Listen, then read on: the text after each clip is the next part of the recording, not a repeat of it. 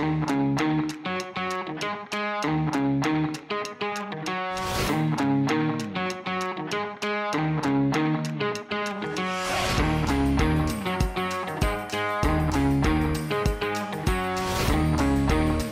guys, Tom Deese, Sou- Southern Pines Nissan Kia Service Manager.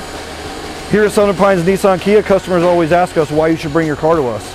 We have specialty equipment, we have all the special factory tools you need, factory trained technicians, state-of-the-art equipment. Come on guys, let's take a look at the shop.